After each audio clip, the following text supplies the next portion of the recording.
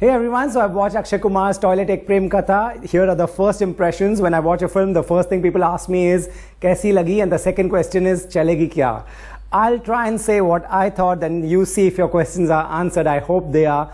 Um, Akshay Kumar is in top form.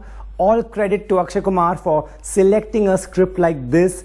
If Akshay was not in this film, it would have been a documentary. Same for Airlift. If Akshay Kumar had not done Airlift, um, that would have been a documentary. So when a mainstream star like Akshay takes up these scripts, let me give you one small anecdote. This script of Toilet Ek Prem Katha has been in the market for about two years. It's gone to so many stars without naming them, but all of them heard the story and they thought they should not do a film about toilet.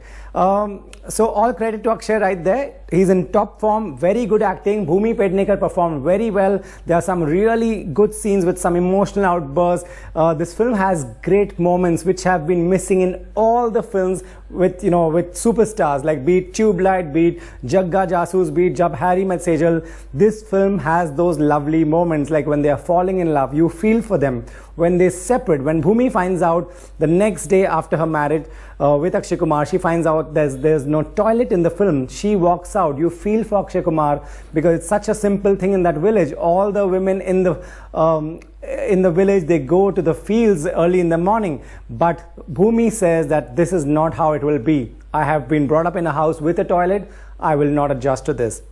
That's pretty much what the story is. It came out in the trailer as well. So no big surprises there. The only problem is that the film is too long. The one that we are watching in India is 2 hours and 40 minutes. Oh my god. You know, audience have rejected that time and again. You know, be it Jagga Jasoos or any other film about 2 hours, they do not like it. You know, uh, a film that's for three hours has to be something like Bahubali, where there's too much happening. It has to be entertaining because if a director is offering a film that's two hours, 40 minutes, remember with all the trailers, with all the mandatory, um, uh, mandatory promos and all the ads that have to go, you are in the theater and the interval, of course, you are in the theater for good three and a half hours. Nowadays, people do not have that patience, and I cannot believe it that filmmakers, even now, are not getting a hang of it.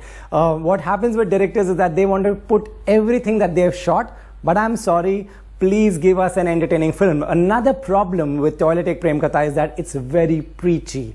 Um, it's great what you're highlighting, it's great what you're showing, but don't make it a preachy film There's blatant plug for the government. You know, they didn't have to mention things like demonetization, but even that is mentioned. Like, you know, what was the need to mention demonetization? That's when we feel that you are being dishonest, you're trying to please the government and not thinking of the audience. There's a there's a scene where someone, uh, where an officer says, "आपको पता है पिछले तीन साल में सरकार ने कितने टॉयलेट्स बनाए हैं?" Now this looks like is just to please the government. Like, come on, are you making a film for the audience or are you trying to please the government? Are you finding a middle road where you get tax exemption? But that's what's called dishonesty. Uh, the lens should have been much shorter. Uh, I think that would really do the magic. That would do the trick. You know, there are too many songs that come time and again. Why are there so many songs? You know, uh, give this film to an ordinary man and he will tell you where to cut it. It should have been not more than two hours. If you can tell a story in two and a half hours, I'm sure you can tell the same story in two hours if you are very crisp with your editing. The good thing is that you don't get bored in parts. You know, the it moves very fast, but um, put together it's very long. Uh, it highlights some amazing issues. You know, the most important thing is that it highlights something very important that toilets are not made in villages and it's not just the fault of the government. It's the fault of people as well it's the fault of every department.